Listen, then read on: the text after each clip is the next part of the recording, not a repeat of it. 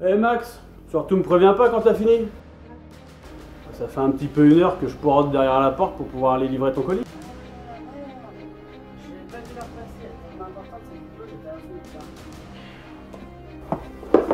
Bon du coup t'en as profité pour officialiser le truc? Non, mais en fait, je peux pas me permettre la comme ça, Euh non pas trop non.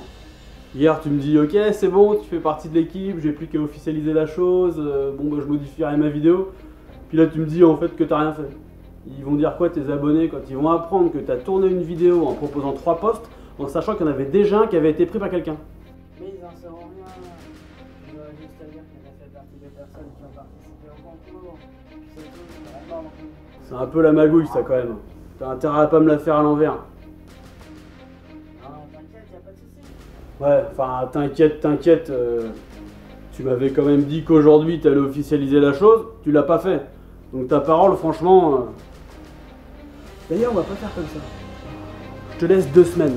Je te laisse deux semaines pour officialiser par n'importe quel moyen le fait que je fais partie de l'équipe. Tu te démerdes, tu te débrouilles.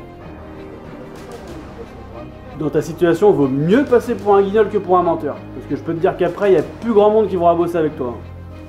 N'oublie pas que les murs ont des oreilles. Deux semaines.